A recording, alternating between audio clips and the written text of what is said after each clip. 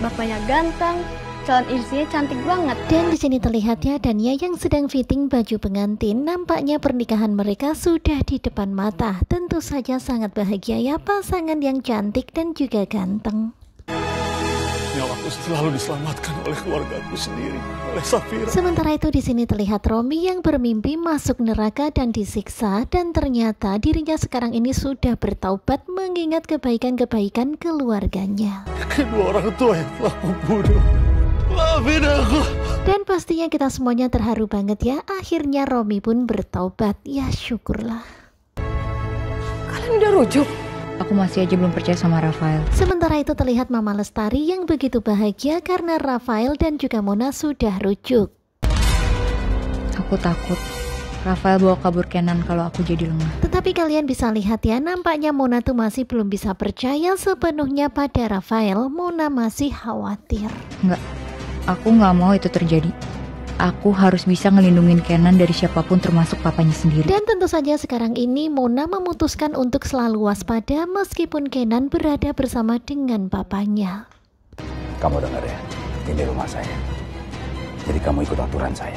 Sementara itu di sini terlihat ya Aris dan Rafael bertemu. Aris meminta kepada Rafael untuk mengikuti peraturan di rumahnya.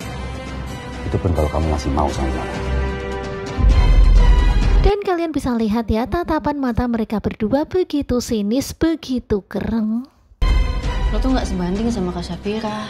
Kak Syafira tuh cantik banget. Sementara itu di sini terlihat Cina yang sedang membandingkan dirinya dengan Safira. Senang aja Kak Julian itu cinta sama dia. Bahkan ketika acara meeting di kantor Putu Wangsa Group terlihat ya Cina terus memandang-mandang Julian.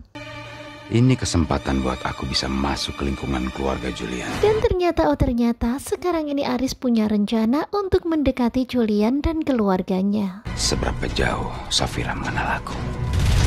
Karena tentu saja Aris tuh masih penasaran apakah Safira mengenalinya atau enggak.